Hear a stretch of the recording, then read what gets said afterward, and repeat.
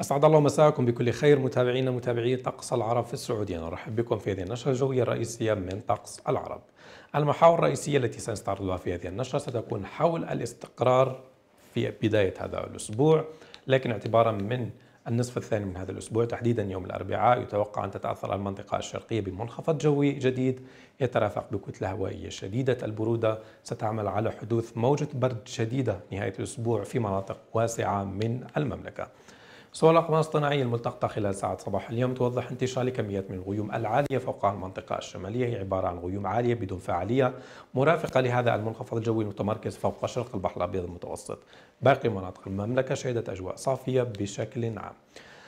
نستعرض الآن هذه الخريطة لتوزيع الأنظمة الجوية المسببة للكتلة الهوائية الباردة وأيضا موجة الغبار المتوقع أن تتشكل نهاية الأسبوع. يوم الأربعاء تتأثر المنطقة الشمالية بمنخفض جوي هو امتداد لمنخفض جوي يتمركز بشكل رئيسي هنا في منطقة بلاد الشام لكن يترافق مع كتلة هوائية شديدة البرودة قطبية المنشأ تنخفض درجات الحرارة بشكل كبير يوم الأربعاء بإذن الله في المنطقة الشمالية. ثم لاحقا خلال يوم الخميس تندفع هذه الكتلة الهوائية الباردة جنوبا باتجاه المنطقة الوسطى والشرقية أثناء حركتها نحو المنطقة الوسطى والشرقية استعمل على نشاط كبير في سرعة الرياح الشمالية الغربية.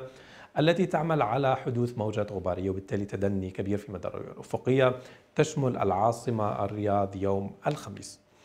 ننتقل الآن وإياكم لخرائط توزيع درجات الحرارة في طبقات الجو المتوسطة حيث تتأثر المنطقة الشمالية بكتلة هوائية باردة ناتجة عن منخفض جوي تتأثر به منطقة بلاد الشام. بالمقابل كتلة هوائية دافئة تتمركز في القطاع الجنوبي من شبه الجزيرة العربية. بالنسبة للعاصمة الرياض يتوقع أن تكون درجة الحرارة نوعا ما دافئة خلال يوم الاثنين بإذن الله.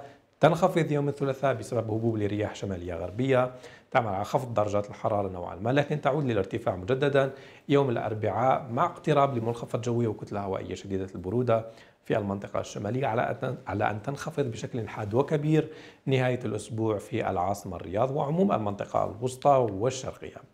نبقى في العاصمة الرياض والتوقعات الجوية لهذه الليلة حيث يسود طقس غالبا صافي 13 درجة مئوية الملموسة 13 رطوبة 70% والرياح تكون جنوبية شرقية خفيفة إلى معتدلة السرعة بالنسبة للثلاث أيام القادمة يوم الاثنين طقس مستقر 25 ل 12 يوم الثلاثاء تنخفض 21 ل 12 لتعود وترتفع مجددا يوم الأربعاء 26 ل 13 مع أتربة مثارة ورياح نشطة.